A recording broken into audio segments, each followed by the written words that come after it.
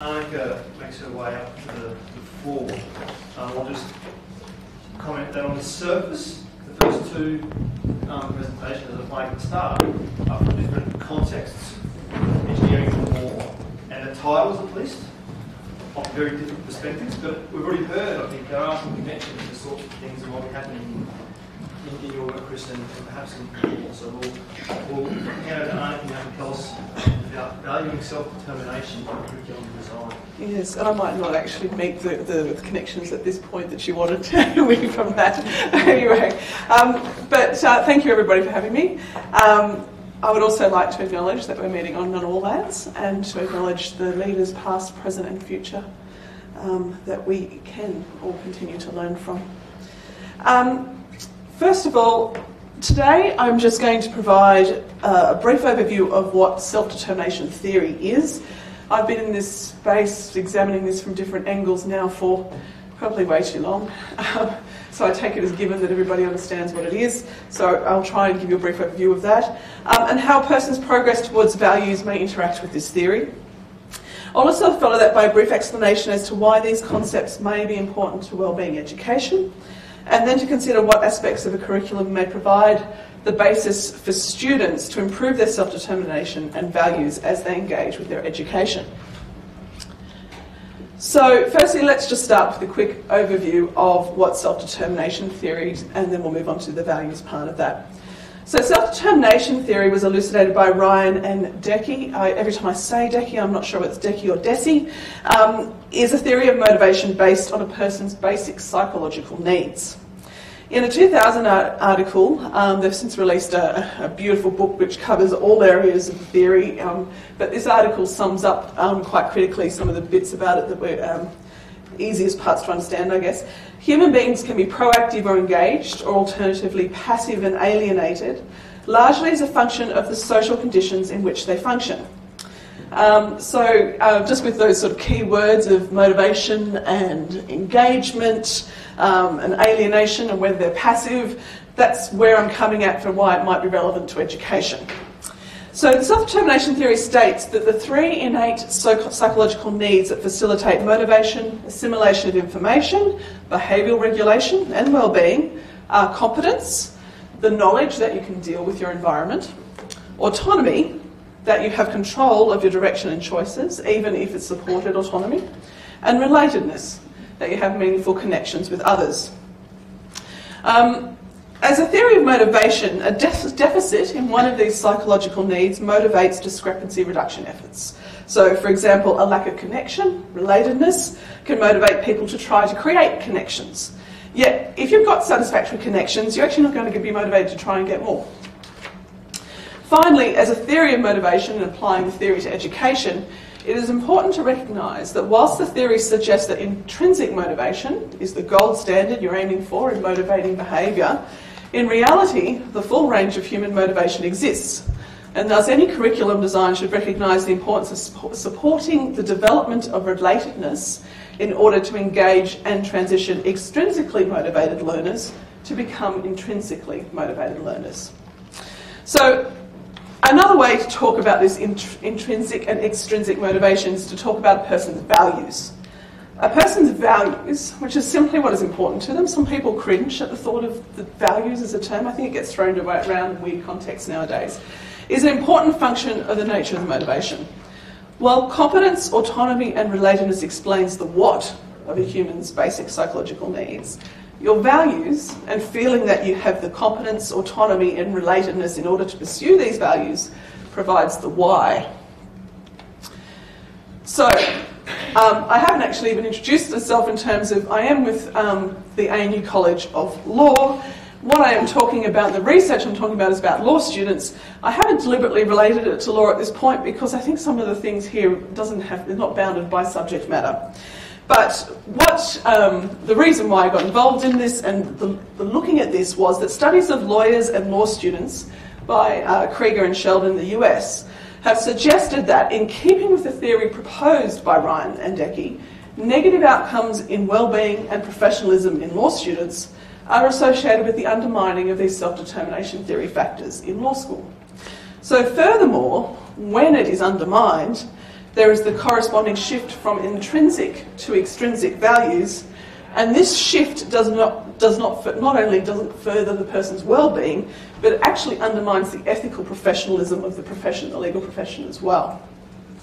So in Australia, um, and here at ANU, um, empirical research conducted by my colleague Stephen Tang and I here on several cohorts of our professional practice course students in 2012 and 2013, which is a little while ago now, um, reinforces the conclusions of Krieger and Sheldon's work by confirming this relationship between self-determination factors and well-being.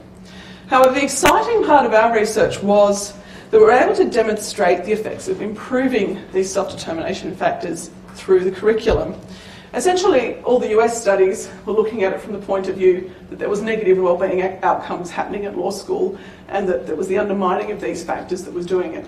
The exciting thing that our study showed was that over the particular course we were looking at, we were actually um, either seeing in statistically significant increases in relatedness, competence, professional identity, and there was a stability in autonomy from a high starting base.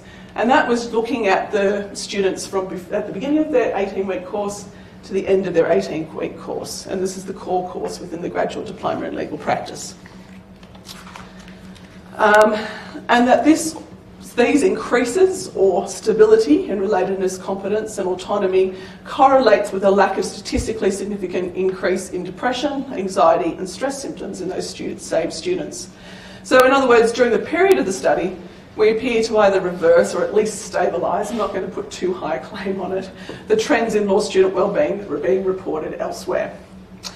Most notably, our modelling of what predicted overall levels of distress in our cohorts demonstrated that it is values obstruction that significantly predicts more psychological distress in students, while increases in autonomy and relatedness in particular are predictors of less psychological distress in students. Now, we also looked at subjective well-being, which is a different, um, different scale to be looking at as well. And whilst we don't say subjective, well, we know, according to the, our research, that subjective well-being is not immediately the inverse of psychological distress. We were still able to determine that the strongest predictors of subjective well-being were also subjective autonomy and relatedness. So these results, which focused on values, autonomy and relatedness for good psychological results, results does miss out on one critical element. That is competence. It's not featured largely in the positive results that we're seeing. So, subjective feelings of competence is not a driver for well-being and professionalism in the same way that autonomy and relatedness is, and does lead us to question what law school, and probably what most tertiary education, should be reinforcing in order to ensure better well-being outcomes. That is, is the emphasis on competence through exam results, which unfortunately still is largely in place, misplaced when autonomy and relatedness are important for professional well-being. And then there is also the other thing. Who cares about well-being? okay? If we're getting the results we want in outcomes. Beyond questions of whether it's ethical to do harm to your students through education, do students get better education, educational outcomes if they are well? It seems obvious to me the answer should be yes, but let's have a look at it. As part of our research, we've also had the positive findings and correlations between self-determination theory and values, and students' self-reported increases in professionalism, ethical outlook, professional identity, and even self-reported increases in what they know and will know upon admission to practice. Um, there's another interesting thing here I haven't emphasised in my notes on this, which is that they also feel that they're going to, their unknowns have increased from, from beginning to end of the course as well. I don't necessarily see that as a bad thing. I think it's a recognition that um, you've still got more to know.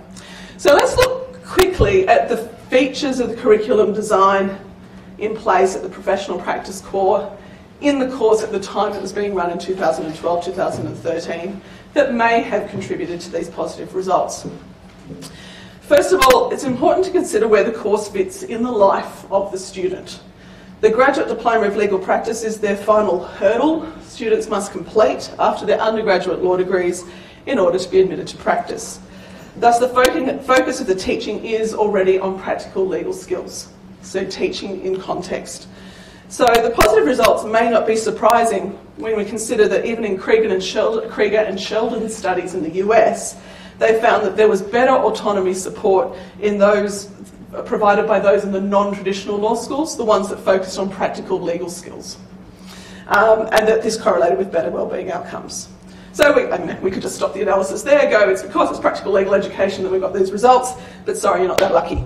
Um, basically, I think there are probably other things we should be looking at because under the title of practical legal training, it can involve a whole lot of different pedagogies.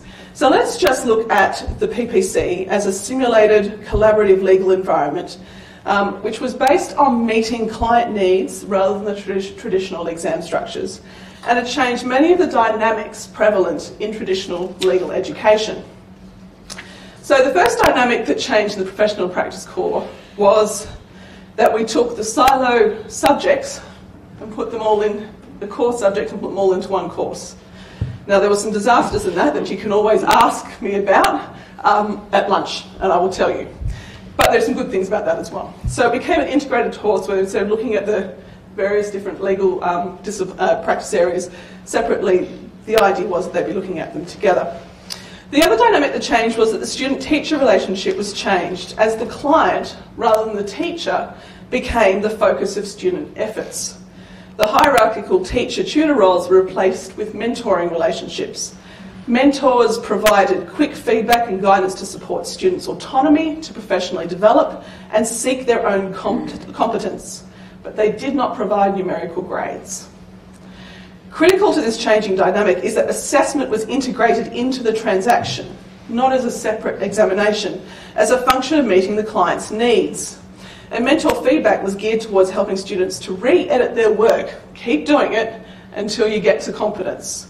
Um, they literally had to rehand their work in until they reached the competence standard.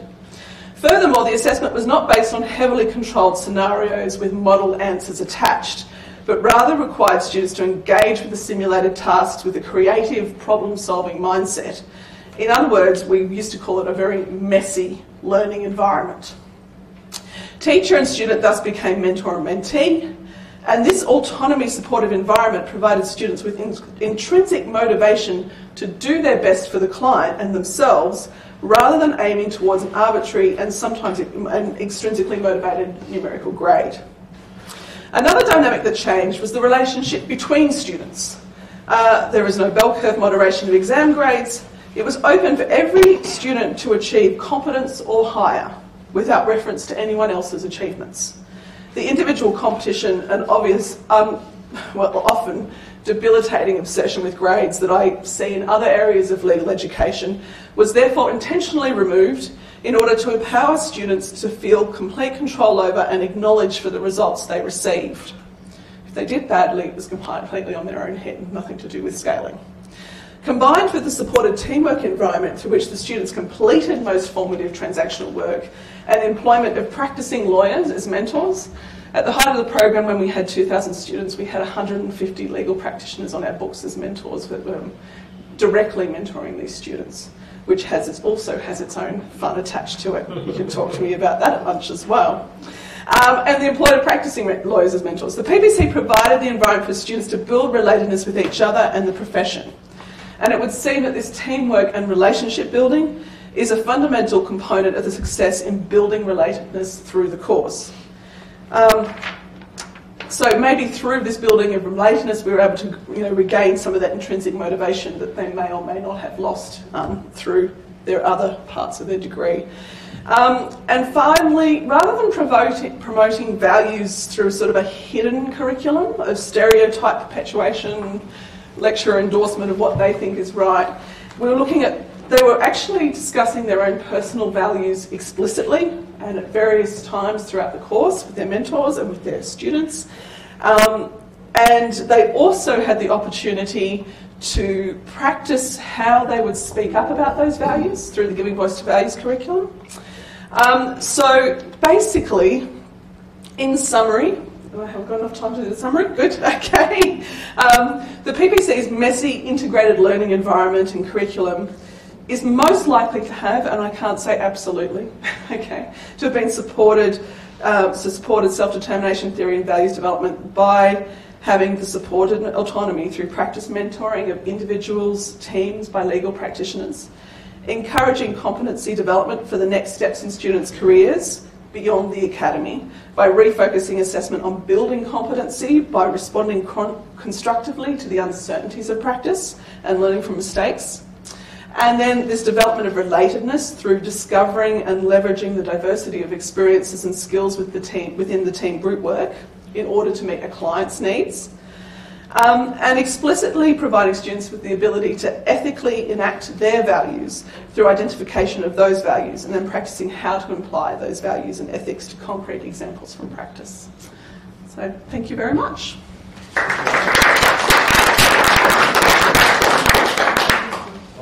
Well, please wrap up now. Uh, it's been very so thank you for leading it. I thought I was going to give it a test out when you gave me my five minute warning, but sorry if I was speaking fast there at the end, everybody. So, thank you for um, giving us a very clear framing of curriculum through self-determination theory and then giving some very specific examples of curriculum design there. I'm sure there are some questions in the audience that people are sitting on, nurturing. So one problem I tend to come up with sometimes with students when we ask them to be a bit more autonomous is the pushback to just give me what I need to know and give me an exam because that's easy. Mm. How do students cope with change? Okay, so you have to do an expectations um, exercise definitely at the beginning of the course, and it's something we didn't always do very well at the very beginning. We got better at it, and we used our mentors to do that. They'd have sessions with the students to explain it through. The other thing about this, just give me the answer, um, you do have to change. You know, um, we're getting them graduate diploma. They've done, they've successfully navigated law school and whatever, other degree they've done. So yeah, they know how to get the work they need to get through the assessments. Um, two things. We got rid of numerical grades. Um, it took a bit of doing. Um, but um, getting rid of the numerical grades, and we have just a not yet competent, competent higher level performance. And frankly, I'd like to get rid of higher level performance as well, because it then leads to this kind of. But it's a, it's a two I can see the argument both sides. You want to recognise those people who are really hitting well and truly above. Um, but um, so by getting rid of the exam structure, getting rid of the assessment structure that reinforces that I just want to have the information from you so I can pass the exam is a fundamental carrot that you, you can use to change that, I think. Um, I often see um, assessment, I, uh, another paper I looked at years ago, which was that assessment really is going to make or break your curriculum. You can do the most amazing things to your curriculum, but if your assessment is just the same 100% exam or even 50% exam at the end, that they want to get just the information, what's in the exam that they have to answer at. It'll break everything else beautifully that you've put into the curriculum because ultimately the smart ones will realise that they just need to get the information for the exam to get passed. So, yeah. Because I've had that redo your assessment. You know, if you didn't do well, go. And I think I had 2% of students actually bother to redo their assessment to do better. Yeah. Well, we didn't give them the option. Uh, they had to redo their assessment until they hit competent. And I often used to say to them, competence not just 50%. We're, you know, we're sending you out to practice after this. After this, um, you know, your first day in the job, we want to be mildly confident that you're not going to destroy somebody's life on the first day. So, I mean, that's a weird kind of thing. But 75% is what I usually try. When you, I try not to put it to that, but you said I've got to hit 75% to be confident. Um, Potentially a very provocative statement you made a moment ago. Um, curriculum is the assessment. I think that's something like that. Yeah. That you say might be interesting. Okay. I've said, I've said that. There's one other question. If anybody has one. I come out with things like that sometimes. You had 100 and something um, Uh, professionals. the legal practitioners. yeah. Legal. Um, how many people did you need to wrangle? Um, we had, um, so we, we kept the convener structure, so the conveners who had their courses sort of into this, this meant. We had eight conveners and they wrangled their section. so it'd be 30, 35 legal practitioners per convener. That was literally one of our biggest problems early on, we, we got it down to a more refined art over time, was how to recruit the right people to do these roles. Um, very early on, some of them took on, because they, they had the role of senior partner in the thing, and they could be really nasty um, to students. And we had to quietly, Vivian's quietly, we had to quietly encourage people to take a positive approach to how they were providing the feedback to students. So Um, that's now the version of expectations management. Absolutely, yeah. Um, yeah, and, and then consistency in what those expectations were across the board. It was, it, it- it was a big problem. We don't have the same. Thank you, Ryan. Can I ask you all, please? Thank you.